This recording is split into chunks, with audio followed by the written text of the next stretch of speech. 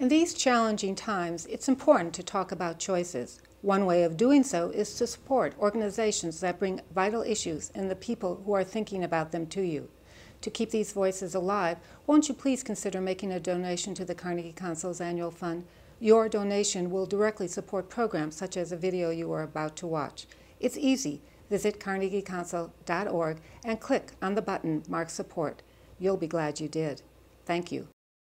What this place lacks, in my opinion, uh, first and foremost, is a viable long-term economic plan. Uh, it's a welfare state, and it has been for a long time. And in the near term, there's really no alternative, in my view. Uh, Rory spent a fair amount of time over there on the ground uh, in places I haven't been, so he can probably elaborate on this or have an opinion. But it's been my experience that uh, this place uh, really doesn't have one. Now, those that came to help several years ago got together and came up with a, with a plan. There's a blueprint. There is something on paper. In my opinion, it's pretty shaky and uh, not really viable.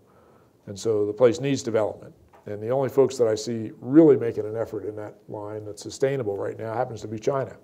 And of course, they're interested in taking care of themselves and they're interested in the minerals that are uh, potentially uh, in some significant supply and that's what they're engaged in right now. But at least they're there working that piece of the problem. I guess the other, uh, the other thing I would share with you is, in my view, there are four things that are needed in this country. And these are really the priority things. Uh, they need roads, and there's actually a fair amount of progress been made in the last several years. There were no roads before. There were tracks and trails. There were dirt roads and gravel roads. Uh, there's now uh, almost completed a ring road that runs around the central mountainous region that ties the country together uh, but there's a long way to go. They need electricity. There basically is none. There's some around Kabul, there's some in Herat, a few other places, but there's no national grid, there's no national source. Uh, there's one big dam down in Helmand River in Kajaki that provides the bulk of the power down there. I mean, it's a fraction of what you'd see in any developed country.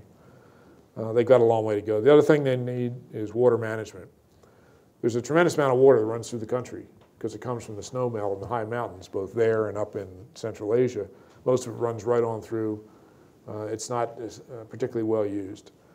There was a system of uh, uh, relatively local irrigation that was reasonably effective, I thought. The Russians worked hard at blowing it all up when they were there in the 80s. A lot of it's still not been re redone. The last thing uh, goes hand in glove with the water, and that's agricul agricultural development. Uh, the place is, I believe, able to, to feed itself. There are 30 million people there.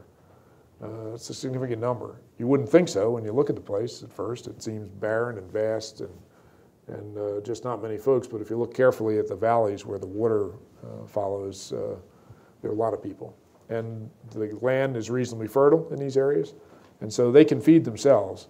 There's a potential, I think, for some of this to be exported because there's some pretty hungry mouths down the road here in, in India and in Pakistan and other places. So there is potential, but uh, without those four things, I think the economics of the place are not, not particularly uh, wonderful. And again, uh, tied into the first comment I made, it needs to be weaned uh, of its welfare state status.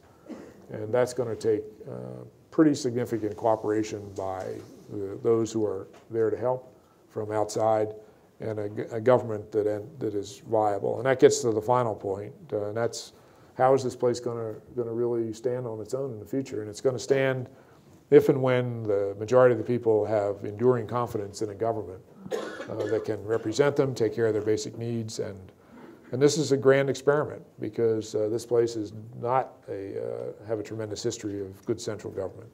It's mostly local, it's tribal, it's uh, it's really uh, uh, been devolved down to people and very close to their homes.